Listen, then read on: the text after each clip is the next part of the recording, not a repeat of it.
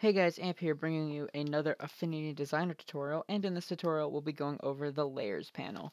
So uh, in this tutorial I have opened up Neon Alleyway and it's one of the uh, uh, sample works in Affinity Designer.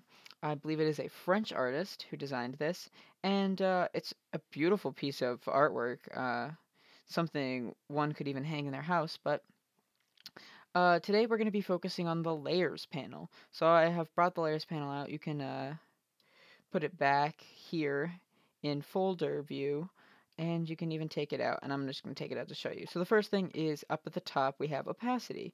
So we can change the opacity of a given layer if it's selected, say these green lights, or if we select everything, we can change the opacity of everything.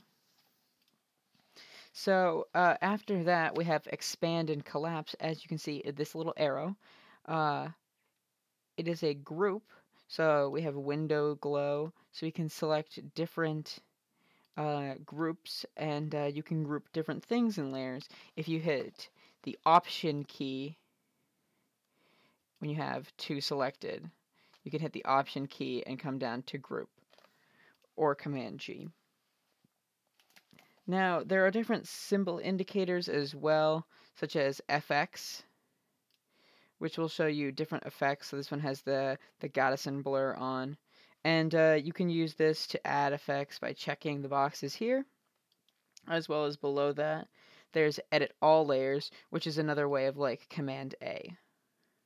Uh, there's mask layers down here, and this creates a layer mask to reveal a portion of the layer while the rest of the layer remains hidden.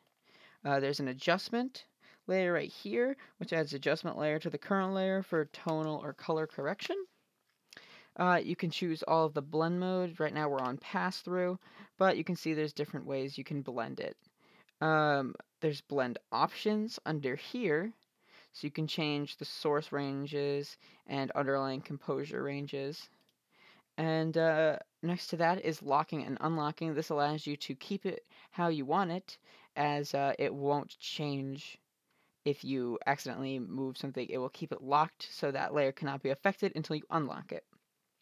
There's also hide and show, uh, where you can hide or show different uh, groups. So let's try a group where it's uh, a little more noticeable.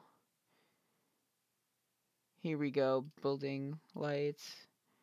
Uh, let's just the, the affinity light right here. So you can check it on and off to see or uh, hide the certain layer.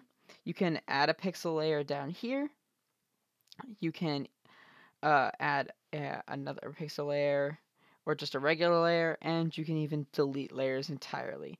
So this is just an overview of the layers panel. I find it one of the most useful panels in Affinity Designer. Um, I use it all the time. Obviously, if you are in the program, you're probably quite familiar with it. Um, it's one of the most useful panels. Uh, it keeps everything organized. I personally do the same thing this artist has done, where when I group things, I title it. I just find it keeps everything in its place and uh, really helps your flow of work. Um, it's just an overall great tool that you can use for anything in Affinity Designer. And uh, I hope you liked the video. If you did, give it a thumbs up and subscribe for more Affinity Designer and Affinity Photo tutorials. Thanks for watching.